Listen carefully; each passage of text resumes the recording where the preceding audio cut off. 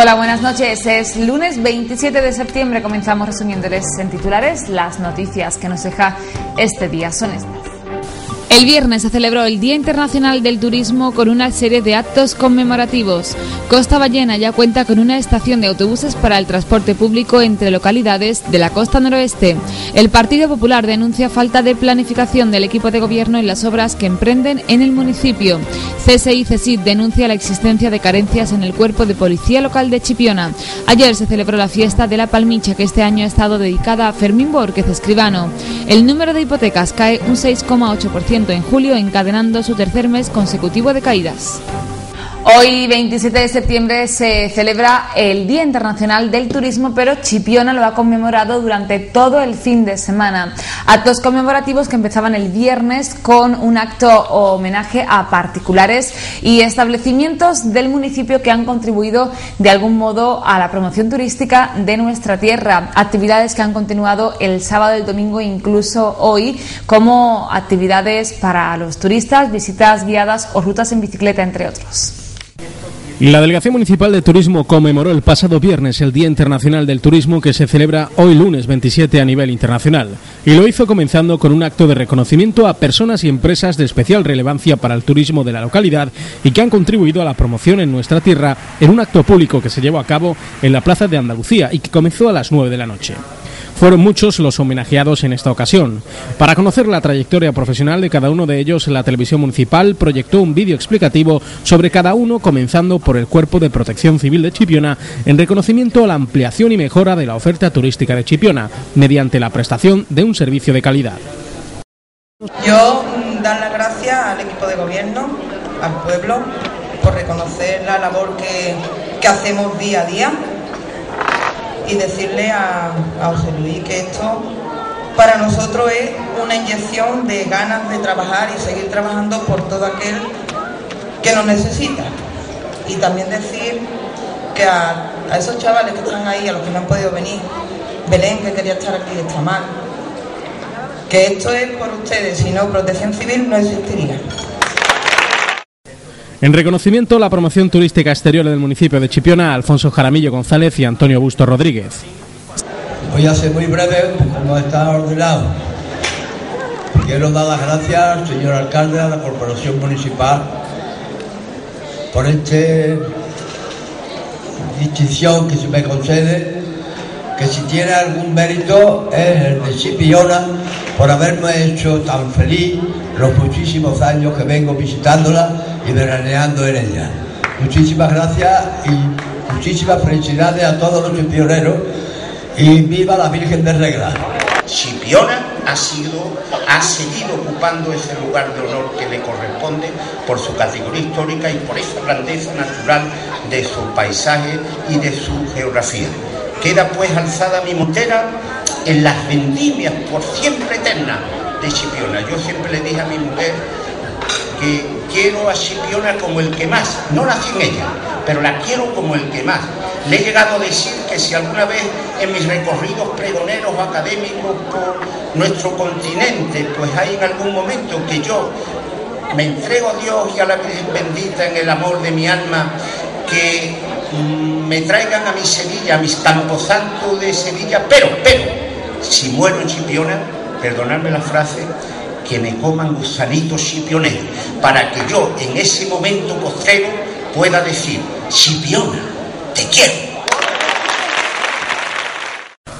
En reconocimiento a su labor turística y de promoción de la ciudad, Apartamento Santo Rostro, Hotel Apartamento Marina Luz. Buenas noches a todos los presentes. Agradecer este reconocimiento en mi nombre y en el nombre de mi familia a la Delegación de Turismo y excelentísimo Ayuntamiento de Chipiona. Asimismo, agradecerles cómo valoráis nuestra labor por el turismo. Dedicárselo en especial a alguien que no está aquí con nosotros, pero que ha sido el pionero en dirigir nuestra empresa, mi padre. Por último, no quisiera despedirme esta noche sin felicitar antes a mis compañeros también reconocidos por su buena fe y profesionalidad. Buenas noches a todos, muchas gracias. En reconocimiento a su labor turística y de promoción de la ciudad, Restaurante Peña y Restaurante Ventamillán y de forma especial esto, si mi mujer me hiciera, no hubiera sido posible. Soy uno de los que le ayudo a todos los que que necesita algo, cuando veo algo raro, pues le ayudo a toda la gente. Yo esto me lo merezco, mi mis hijos, y muchas gracias por el pueblo de Chipiona. En reconocimiento a la divulgación de la imagen y buen nombre de Chipiona como destino turístico, Miguel Gallardo Rodríguez. Eh, no por ello yo en este caso igualmente pienso que no tengo ningún mérito especial, salvo el de haber ejercido mi profesión de periodista, como vengo haciendo desde hace mucho tiempo en muchas actividades, de la mejor forma posible, que no es otra que la de contar noticias de la gente más cercana, las buenas noticias de la gente más cercana y hacerlas llegar a la gente que le pueden interesar esos temas y que están manejando. Y eso es únicamente lo que yo he hecho casi toda mi vida, con la radio, con la televisión, con la prensa escrita, con las revistas de interés nacional y ahora en los cinco o seis últimos años con el Internet que llega a todas las partes del mundo. Ese es mi trabajo, eso es lo que me gusta en la vida, eso es lo que he hecho y lógicamente mi unión a Chipiona ha hecho que también durante todo ese tiempo pues todas las cosas que ocurrían cercanas a mí y a la gente que comparte eh, la cercanía conmigo, pues que también las transmitiera de una forma periodística. Quiero por ello compartir este premio lógicamente con todos los amigos periodistas eh, y con los medios de comunicación que me han ayudado lógicamente a poder difundir toda esa noticia. Quiero dedicarlo a mis padres, que fueron los que me trajeron, igual que me podrían haber llevado a otro sitio, y en especial a mi madre, que, que con 82 años todavía este año ha veraneado tres meses en Chipiona y el día de llevarla a Sevilla decía que no se quería ir. Y hoy se ha quedado un poco mosqueada porque decía que quería volver. También, lógicamente, se lo dedico a Marina Bernal, que ha compartido los 25 últimos años de mi amor y su amor también por Chipiona, y a toda mi gente de Chipiona, que prácticamente soy todas las que estáis hoy aquí, que son las que me han enseñado a querer a Chipiona y me siguen enseñando cada día a seguir queriéndola. En reconocimiento a su trayectoria profesional, Francisco Montalbán Pomar, Bar Franchi.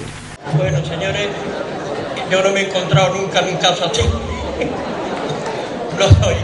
Pero vamos, yo le doy las gracias a la Corporación Municipal, en particular a lo de turismo, y esto de, lo de mi trabajo y eso es debido a, al tesón que tiene mi señora y mis hijos, porque sin ellos no sería eso nada. Muchas gracias. En reconocimiento por la promoción en Chipiona de un producto turístico singular, novedoso, atractivo y exitoso, Restaurante Venta al Pinar Periqui y Restaurante Las Bóvedas. Yo no sabía que aquí había que hablar de nada, pero ya que todo el mundo estamos hablando, pues en primer lugar darle eh, las gracias a todos los que tengo trabajando allí, que sin ellos no podría innovar, como se dice aquí, hacer cositas como las que estamos haciendo. Eh, dar las gracias a mi padre, que me ayuda muchísimo, aunque estoy todo el día peleándome con él.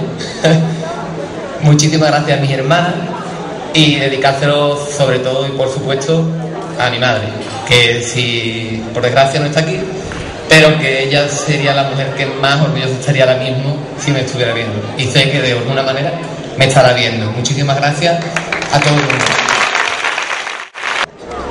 Buenas noches a todos. Eh, darle muchas gracias al Ayuntamiento de Chipiona y a vosotros y también a, a la cocinera, que es mi señora. Gracias.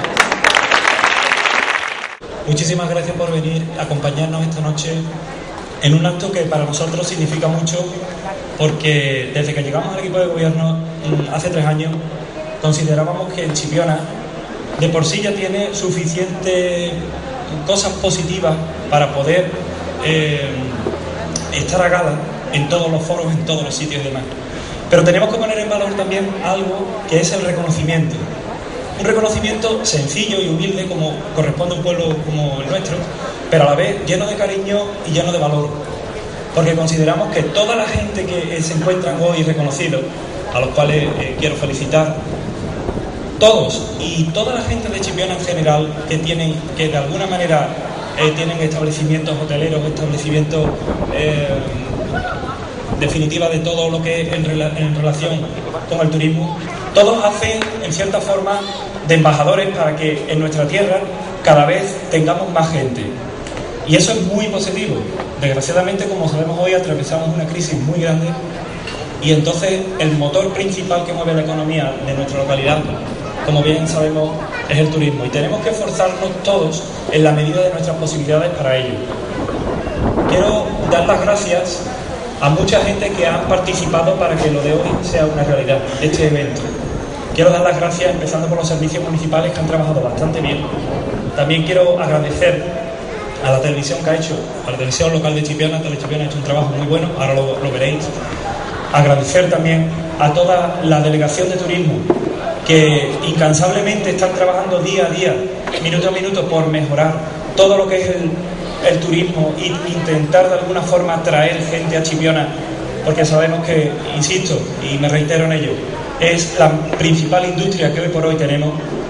Y por supuesto, felicitar a todos los que realmente hoy reciben ese galardón, que es humilde y sencillo, pero a la vez, como anteriormente dije, lleno de cariño porque estáis haciendo vosotros también eh, eh, siendo un poco embajadores de Chipiona, ¿no? Mi más sincero agradecimiento a cada uno de los homenajeados, sin duda por, su magnífica trayectoria profesional, por su magnífica trayectoria de implicación con Chipiona y por tanto mi enorme gratitud a cada uno de ellos por la, maravillosa faceta de dedicar parte de su vida a aportar su granito de arena para que Chipiona sea lo que hoy es. Y cómo no, eh, gracias también a todos y cada uno de los que estáis aquí, porque sin duda estáis dignificando este acto tan enormemente emotivo.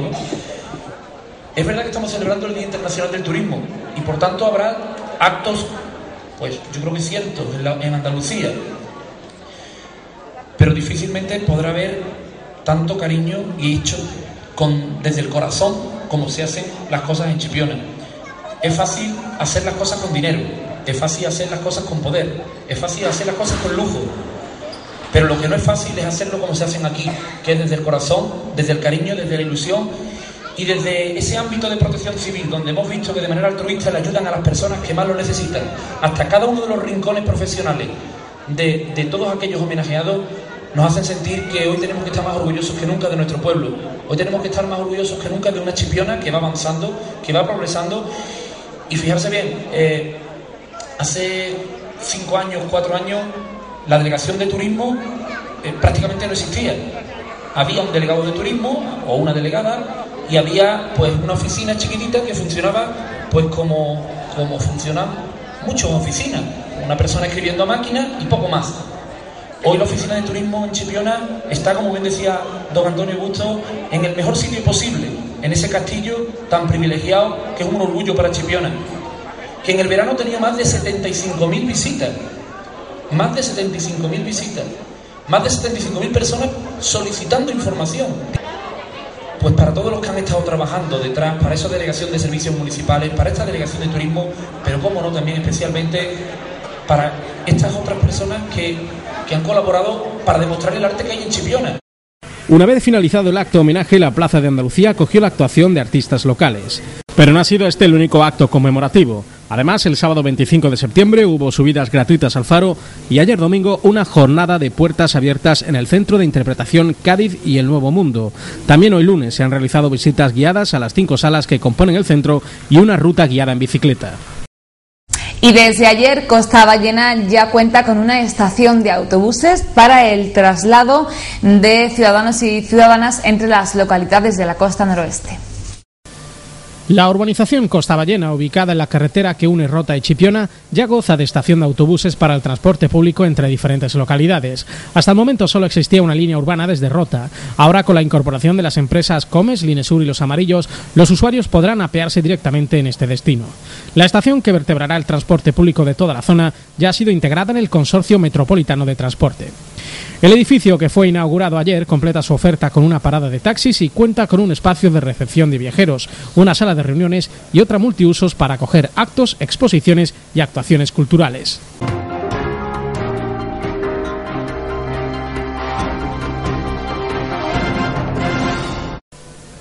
El Partido Popular denuncia la falta de previsión y planificación del equipo de gobierno socialista al ver, según afirman, cómo se realiza la misma obra varias veces, con el consecuente coste que ello supone para las arcas municipales.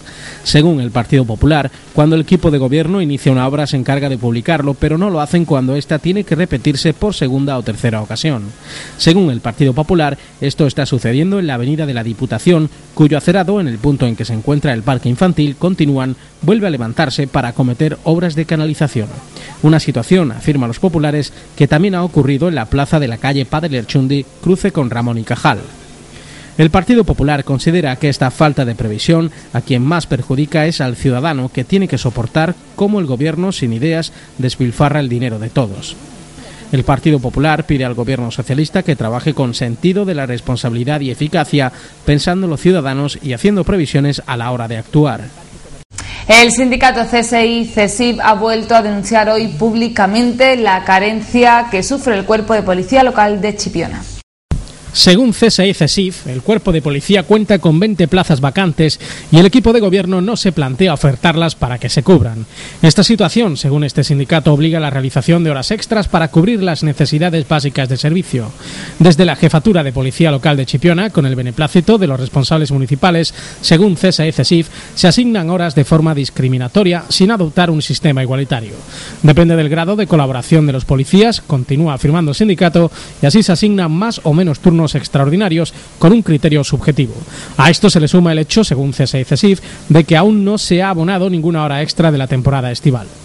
Por otro lado, CESIF sigue denunciando falta de uniformidad para los policías locales. Según CESIF, existe una negativa a facilitar uniformes y se descuenta salario a aquel agente que se encuentre en situación de enfermedad. Por ello, desde este sindicato vuelven a realizar una campaña para pedir uniformes en desuso a través de todos los municipios de la provincia y solicita la colaboración de los compañeros de otras plantillas para que les faciliten la ropa en desuso. Además, CESIF ha solicitado una reunión de forma inmediata del Comité de Seguridad e Higiene Laboral para proponer soluciones a estos problemas.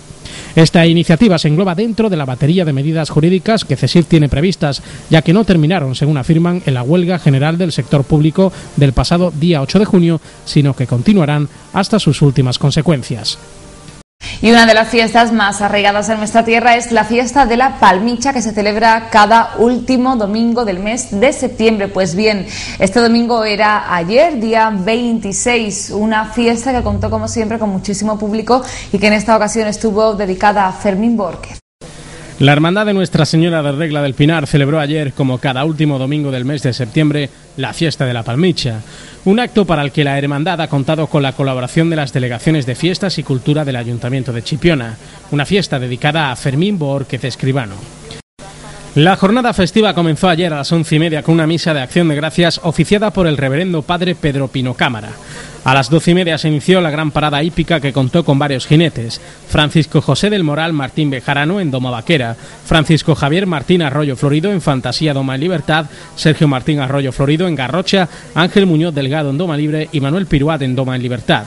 El cierre con caballos estuvo a cargo de Fermín Borquez, a quien precisamente este año se ha dedicado esta fiesta. Posteriormente, ya por la tarde, a partir de las 6, comenzó la tradicional carrera de cintas a caballo que contó con mucha participación. Esta hermandad anualmente tiene esta fiesta alrededor del mundo del caballo para hacer un día de acción de gracias por las cosechas del año. Nosotros decimos fiesta de la palmicha porque es el fruto ese que sale de estas palmas que hay en estos pinares y siempre se lo dedicamos a una persona que ha estado muy vinculada al mundo del caballo. Yo creo que este año hemos acertado de pleno con su hijo Fermín, que es muy amigo y lo tenemos aquí en Chipiona muchas veces. Y comentando este asunto, pues dice, hombre, esto, eso tiene que ser a mi padre, que es el que ha sacado a esta familia de hombres del caballo y gente tan allegada a este mundo y nosotros pues encantados en tenerlo usted hoy aquí, dedicarle esta fiesta. Y la hermandad quiere que tengáis en casa este recuerdo, un trabajo en Taracea de los franciscanos de Granada, con esta imagen de la Virgen de Regla. Muchas gracias con el corazón, porque todo lo que sea el caballo y la vital es todo lo que hay.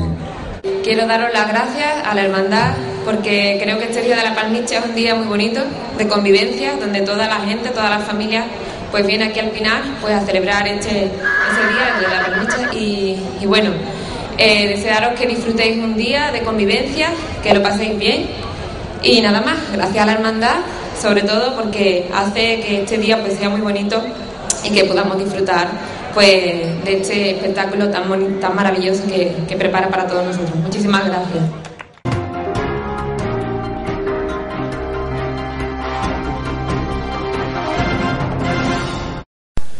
El número de hipotecas constituidas sobre vivienda cayó en julio por tercer mes consecutivo, el 6,8%, hasta quedar situado en 55.570, según los datos publicados hoy por el Instituto Nacional de Estadística.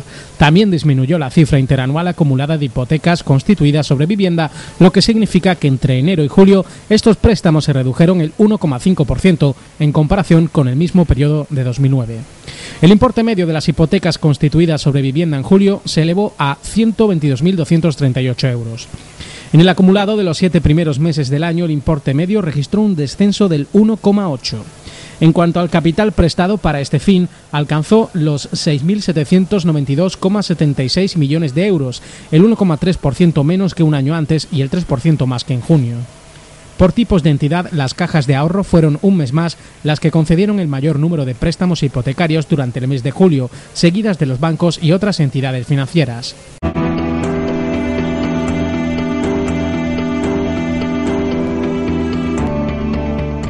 Previsión del tiempo para mañana, temperatura máxima 28 grados, mínima de 16 con viento sudeste de 14 kilómetros por hora y 0% de probabilidad de lluvia. Las mareas, coeficiente medianoche 0,60, mediodía 0,55, pleamar 6,32, 6,56 y bajamar 12,35 y 12,48. Farmacia de Guardia Sánchez Castro, la Avenida de Madrid 44. Exposición en color de Antonio Rueda hasta el 27 de septiembre en la sala de exposiciones del Bar El Chusco.